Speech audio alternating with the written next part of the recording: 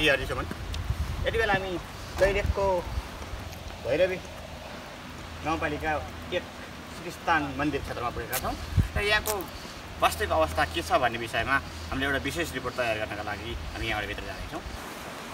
दर्शकहरू हामीहरू यति बेला दैलेख जिल्लाको महत्त्वपूर्ण पर्यटकीय र सांस्कृतिक महत्त्व बोकेको क्षेत्र ज्वाला पञ्चकोशी पञ्चकोशी अन्तर्गतको एउटा क्षेत्र हो श्रीस्थान। त्यो ठाउँमा पुगेका छौँ।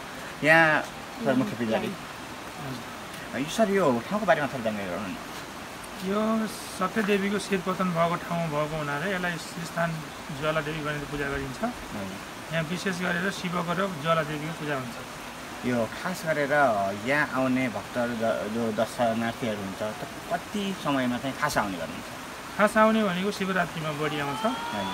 अरू दिनमा अब आउने जाने भइरहन्छ। भनेपछि हिजोको जुन शिवरात्रि थियो हिजोको दिनलाई चाहिँ खास मानिन्छ। खास पर्व मानिन्छ। ए हो यहाँको चाहिँ खास ठाउँ चाहिँ जाउँ खास ज्वालादेवी हो।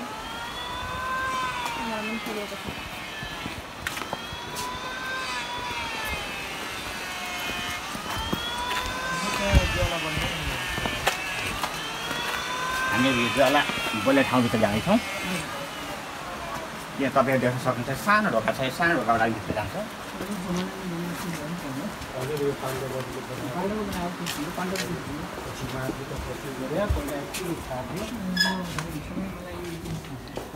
हामी यो ठाउँमा पुगिसकेका छौँ यो सधैँभरि बोलिरहन्छ सर सधैँ परिरहन्छ यो के छ यहाँ सत्य के छ भनिन्छ यहाँ यहाँ त अब यो शक्तिले बोलेको भन्ने भनाइ छ अरू केही चिज छ भन्ने हामीलाई विश्वास लाग्दैन हजुर यो के छ यो ग्यास छ जस्तो लाग्छ त्यस्तो त्यस्तो लाग्दैन। त्यस्तो लाग्दैन। लाग्दैन। तर चाहिँ यो नै यसो बस्नु है। यो शक्तिपीठ भएको हुनाले हजुर हजुर। यो शक्तिले नै बोलेको हो भन्ने भनाइ छ। सत्यले कुरा अनि यो तपाईँहरूले संरक्षण गरेर कति वर्षदेखि तपाईँ यहाँ हुनुहुन्छ? म दुई हजार बयालिस सालबाट यहाँ बसिरहेको छु। लगातार हुनुहुन्छ। कहिले यो बत्ती निवेदन अनि यहाँ आउनेहरू जो बाहिरबाट आउँछ पर्यटकहरू उहाँहरू चाहिँ के कुरा चाहिँ बढी प्राथमिकता दिनुहुन्छ? उहाँहरू अब धेरै जस्तो मान्छेहरू शक्तिले नै बोलेको भन्ने विश्वास गर्नुहुन्छ। केही नयाँ मान्छेहरूले अब ग्यास पनि हुनसक्छ भन्ने कुरा भनाइ पनि आउँछ। हाम्रो दर्शकहरूले हेर्दै हुनुहुन्छ। दर्शकहरूले चिन्दै गर्दा तपाईँको परिचय चाहिँ तपाईँ तपाईँ मेरो नाम गोकर्णनाथ योगी हो। मेरो घर यहीँ दुल्लु नगरपालिका वार्ड नम्बर दसमा पर्छ। म यसै मन्दिरको महन्त हो। एकदमै देख्दै गर्दा सानो कल छ। सानो कलबाट चाहिँ लगातार ग्यास भइरहेको छ अथवा बत्ती भइरहेको छ। र सत्यता भनेको यहाँनिर चाहिँ यही हो कि हामीले बयालिस साल भनेपछि म जन्मिँदै गर्दा। तपाईँ यहाँ पुजारी हुनुहुन्थ्यो त्यति बेला दिइदिनु भएको छ। अनि त्यसमा ठ्याक्कै एउटै भाषामा अथवा सानो शब्दमा भन्दै गर्दा यो बत्ती बलेको आधार चाहिँ भनिदिनुहोस् न। आधार त अब त्यो शिरपतन भएर अब अग्नि निस्केको हो भन्ने भनाइ छ।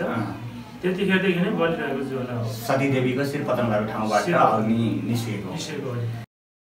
यहाँ देख्न सक्नुहुन्छ अर्को बत्ती बलिराखेको छ लगातार यो यहाँबाट बलिराखेको बत्ती। यो सेकेन्ड चरणको छ भने। तपाईँ देख्न सक्नुहुन्छ पल्लोपट्टिको सेतो बिल्डिङमा पनि त्यहाँ छ? यस ठाउँको रिपोर्ट म सङ्कलन गरिसकेको छु।